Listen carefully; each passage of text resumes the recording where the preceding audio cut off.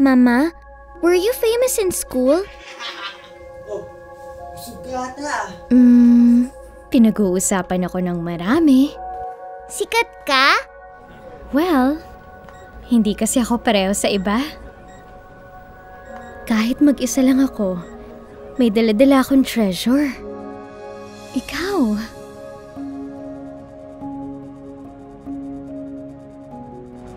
Treasure? So para akong gold. Hello? Far more precious than gold. So madami ba tayong gold? Bakit mo naman natanong? Marami kong work. So more gold. Kaya tayo may magandang house.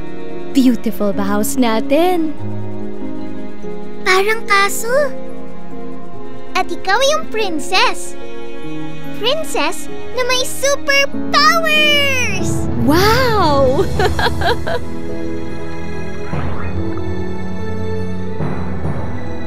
Ma? Hmm. oh, ano pa?